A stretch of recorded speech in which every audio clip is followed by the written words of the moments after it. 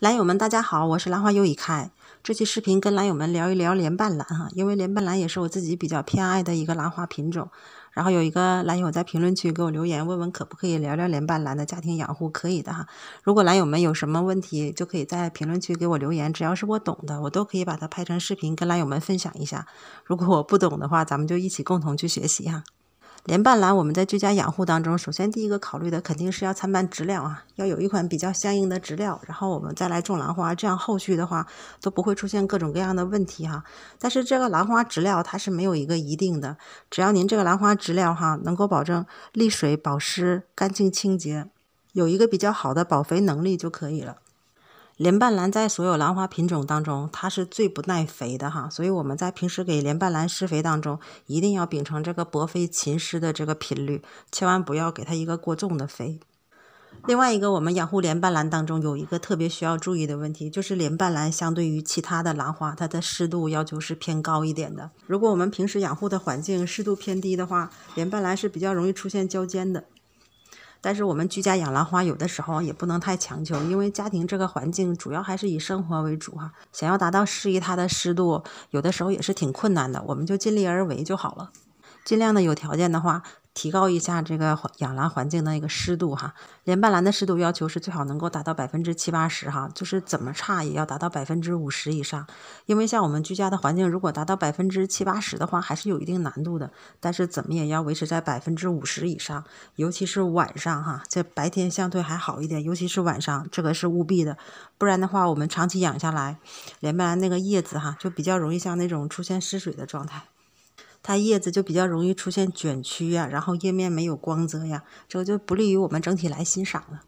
还有一点要跟兰友补充一下哈，就是关于植料这一块儿。如果说我们家里只单纯的养护莲瓣兰的话，那么可以单独的为莲瓣兰去参半一款植料。如果说我们家里剑兰呐、蕙兰什么兰花都有的话，我还是建议兰友们把这个植料哈能够统一。统一植料的话，我们后期才好去统一管理。如果说把这个兰花植料区分开来对待的话，一样几盆一样几盆，后期我们养护起来、管理起来是一件非常麻烦的事情。因为相应不同的植料，可能我们施肥的时间呢，它的保肥能力不同，然后包括它这个吸水性啊，我们浇水的频率也不同，这个长期下来的话就挺熬人的。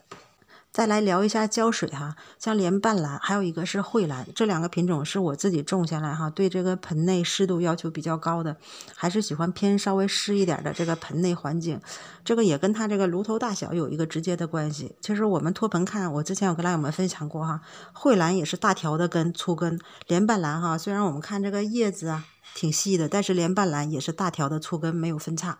并且莲瓣兰的炉头哈，它也偏小，它储存水分养分就完全靠这个根系，炉头储存养分的能力挺少的。所以我们在养护莲瓣兰的时候，可以偏润一点去养哈，这个是偏润，不是偏湿哈。因为这个兰花不管是哪一个品种，只要是这个盆内总是积水湿涝涝的，都长不好，尤其是这种肉质根，很容易就烂了哈。还有一个问题跟兰友们分享一下哈，像不同的温度的话，浇水一定要掌握好哈。这盆花我是一直就放在这个屋子，就放在这个位置嘛。这个屋子的温度始终是维持在二十度之上哈，然后呢温差不太大，湿度呢平常一般就是百分之五六十。像这两盆花我是同时浇的水哈。像这盆呢，就始终在春化当中哈，它们两个是同一天浇的水，三天之前吧。我们从这个铺面就能看出来，它们两个的盆里的质量是完全一样的，铺面也都是完全一样的。这一盆的话就很润，这一盆的铺面已经见干了，就是因为这盆的温度比较低，这个在春化当中最高的温度是不超过十三四度的，晚上就几度。所以兰友们在养护兰花当中哈，一定要根据温度不同，浇水的频率也肯定是不一样的。温度越低，越要把浇水的距离拉开啊。莲瓣兰对光照的需求呢，也不是太重哈。我们平时在养护莲瓣兰的时候，最好就是给它一个明亮的散射光哈。如果是见直射光的话，最好还是上午或者下午见一两个小时啊，尽量不要给莲瓣兰全日照，尤其是北方。我昨天的视频也跟兰友们分享了哈，因为这个时候透过窗户进来的这个太阳，一般光都是挺强的。莲瓣兰哈，它这个叶子本来就薄，它这个叶片好像是所有兰花当中叶子最薄的了。不是太耐晒哈，一晒之后，这整个叶面啊就容易起那种晒斑。晒斑是什么？就整个这一条，比如说呃这一地方正好直接接触阳光嘛，那整个它这一条就全都是晒斑了哈。怎么区分什么是晒斑哈？就这个叶面有，但是我们翻过来看叶背还是绿的，这个的话就是直接被太阳晒的，因为叶背没有晒到嘛。它不像说起一般的黑斑病什么的，内外啊都有。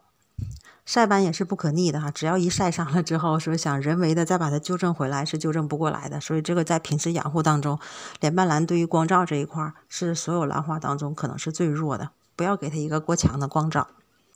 最后跟兰友们聊一聊莲瓣兰的花期哈，因为莲瓣兰和春蕙兰基本上它们都是同时出花苞的，都是在中秋节前后出花苞。然后莲瓣兰的花期呢，也是在一二月份之后，同样也是经历一个这样的春化。但是莲瓣兰参照于春蕙兰的话，它的春花要求不是那么高哈。一般如果说我们室内呀不超过二十度、十几度，这个莲瓣兰开起来都是完全没有问题的。它不像春蕙兰，一定要要求有温差，然后最好是几度到零度之间哈。莲瓣兰还好一些。它是比较柔和的，差别在哪里哈？就是如果春化的好的话，连瓣兰那个花杆也会拔的比较高。如果说春化不够的话，它倒不是说花线拔不起来哈，但是第一呢，容易花线拔的比较矮；第二个比较明显的就是它这个花杆拔起来之后，花杆会偏软一点，不像说经过一个比较充分的春化，它那个花杆拔起来是比较硬朗的。另外一个就是排铃的时候，那个花序容易打不开哈，就是容易开的比较近。咱们看兰花，如果它那个花朵到大排铃的时候能够拉开那个间距，花朵之间比较疏朗，是比较利于欣赏的嘛。这期的视频就跟兰友们分享到这里，希望大家能够喜欢我的视频，再见。